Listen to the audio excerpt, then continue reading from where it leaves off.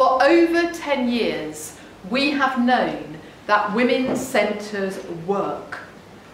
And this afternoon will allow us to hear a little from those supporting women in the community in different ways. Decades of evidence, has just been alluded to, demonstrates that prison doesn't work. It doesn't deliver justice, fails to reduce reoffending and increases trauma and harm to some of our most disadvantaged citizens.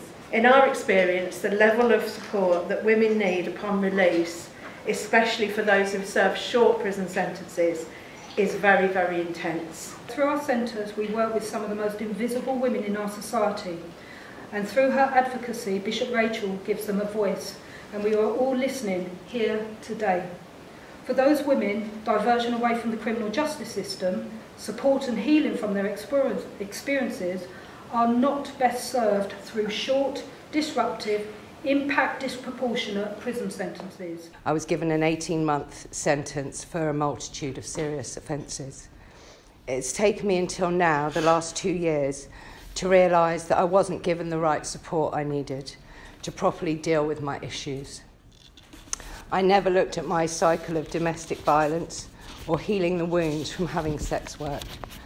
I couldn't get mental health support until I dealt with my addiction which all kept me locked in painful patterns of behaviour. What works in supporting women and men, men to turn their lives around is the ability to build relationships, connections and trust.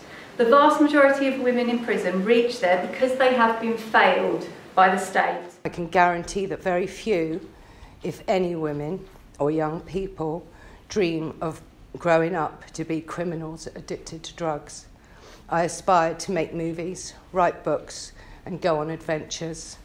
I am one of the fortunate ones who found help to reconnect with my dreams as a young girl.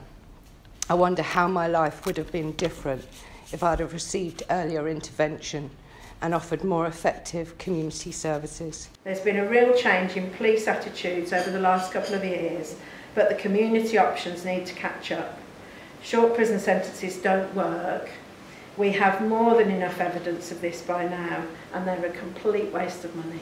It clearly makes sense to see a greater proportion of women managed successfully in the community.